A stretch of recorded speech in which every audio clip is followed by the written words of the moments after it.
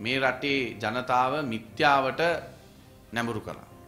ඒකේ හොඳම උදාහරණය තමයි අපේ සෞඛ්‍ය ඇමතිතුමිය පවිත්‍රා දේවී වන්‍යාරච්චි මැතිනිය කලයක් අරගෙන ගිහිල්ලා ඒක අතාරිනවා ඇලකටද දොලකටද ගඟකටද කානුවකටද මන් දන්නේ එතුමිය අතෑරියා. ඊට පස්සේ කරපු දේ තමයි මම හිතන්නේ මේ වන විට සෞඛ්‍ය අමාත්‍යාංශයේ බාරව ඇමතිවරු හතරක් ඉන්නවා. මේ ඇමතිවරු හතර දෙනාම අර ධම්මික පැණිය බිව්වා. ධම්මික පැණිය බීලා කිව්වා මේකෙන් කොරෝනා රෝගය තුරන් වෙනවා කියලා එතනත් මාධ්‍ය සංදර්ශනයක් කළා. ඊට පස්සේ කරපු කාරණේ තමයි එන්නත් මාධ්‍ය සංදර්ශනය. එන්නත් මාධ්‍ය සංදර්ශනයේදී මේ අය මොකද කළේ? මේ රටට ලැබුණා ඉන්දියාවෙන් ලක්ෂ පහක එන්නත්. මේකෙදි අපි පැහැදිලිව ප්‍රකාශ කර සිටියා මේ එන්නත් ලබා දීමේදී ප්‍රමුඛ ස්ථානය ලබා දෙන්න විශේෂයෙන්ම ෆ්‍රන්ට් ලයින් වර්කර්ස්ලට සෞඛ්‍ය අංශයේ ඉන්න වෛද්‍යවරුන්ට හෙදියන්ට ඒ නිලධාරීන්ට. ඒ ලක්ෂ දෙකාමාර ඒ අයට දුන්නනම් දෙවැනි මාත්‍රාවත් ඒ අයටම දුන්නනම් ඒ කණ්ඩායම අද සුරක්ෂිතයි කියන එක ඉතාමත් පැහැදිලි. ඊට පස්සේ නැවත වතාවක් තවත් ලක්ෂ පහකට ආසන්න ප්‍රමාණයක් අපිට ලැබුණා. කොවිෂීල්ඩ් uh, එන්න ක්‍රමවේදයක් එක්ක ඔක්ස්වර්ඩ් uh, ඇස්ට්‍රාසෙනකා ඉන්නත ඒකත් සියලූම දෙනාට පළවෙනි එන්නත මාත්‍රාව හැටියට ලබා දුන්නා මිලියනකට ආසන්න ප්‍රමාණයකට පළවෙනි මාත්‍රාව විතරක් ලබා දීලා තියෙනවා.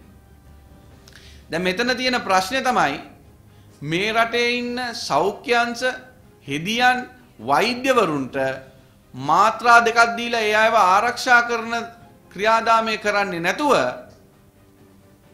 හැමෝට හැමෝටම එක මාර්තාව ගානේ ලක්ෂ 10කට දීලා තියෙනවා. දැන් වැඩක් පටන් ගත්තාම ඒ වැඩේ හරියට ඉවර කරන්න ඕනේ. දැන් එන්නත් ක්‍රියාදාමයත් මාධ්‍ය සංදර්ශනයක් බවට පත් වුණා.